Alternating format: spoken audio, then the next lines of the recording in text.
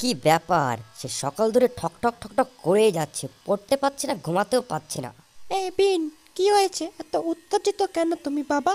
আরে আম্মা জান বললেন না এই বুকটা দেখেন শেষ করার কথা ছিল আজকে কিন্তু আমি শেষ করতে পারিনি আজকে মনে হয় ফেল করব।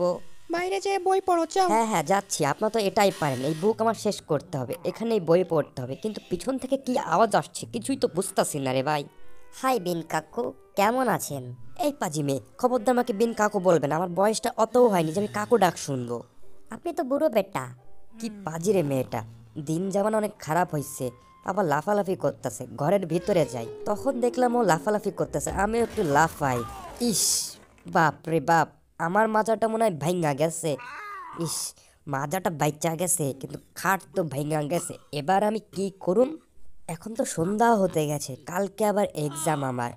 খাটটা এখন মেরামত করা যাবে না, বাথরুমে শুতে হবে আজকে। ইস, কোথাও জায়গা পেলাম না, এখানেই শুয়া পড়ি। পা দিয়ে আবার কি নাড়া দিলাম, ভাই রে ভাই, এখানে জল চলে আসলো, এখন কি করুম? ইস, আবার গেজার, শাওয়ার সব কিছু অন হয়ে গেছে। শীতের দিনে পুরো নাজেহাল হয়ে গেছি আমি রে ভাই রে ভাই। কালকে আমার মিড টার্ম এক্সাম কিছুই তো পড়লাম না। এই সুপার পরেই ঘুমিয়ে যেতে হবে, কিছুই করার নাই। না ঘুমালে পুরো চোখ মুখ অন্ধকার দেখব। এক্সাম হলে বিকালে এক্সাম সকালে খাট কিনতে হবে। এখন একটু রেস্ট নিতে হবে। এখন আর পড়াই যাবে না, পড়ার মন মানসিকতাও নাই আমার। সকাল থেকে অনেক পড়ে ফেলেছি, এখন রেস্ট নেওয়ার পালা। আহ, ইস, রাতে একদমই ঘুম হয়নি। খাটে শোয়া আর সুপার শোয়ার আকাশ পাতাল তফাত পুরো টাল খাচ্ছি। সবাই ভাববে আমাকে নেশাখোর। দর্শক, আপনারা কি ভাববেন? কমেন্ট সেকশনে জানিয়ে দিন। সকাল সকাল পেপার পড়ার মুডই নাই। খাট কিনতে যেতে হবে। কিন্তু এখানেই তো দেখতেছি সুন্দর একটা খাটের ছবি দেওয়া। শপিং মলে যাই। শপিং মলে তো ঘুমাইতে ঘুমাইতে কচি করে চলে আসলাম।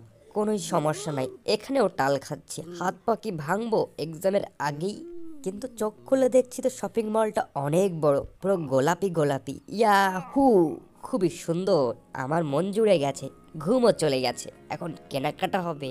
দেখো টেডি বিয়ার তোমার আর আমার গোপন খাট আই মিন পর্দা দেওয়া ভিতরে গেলে কেউ খুঁজে পাবে না।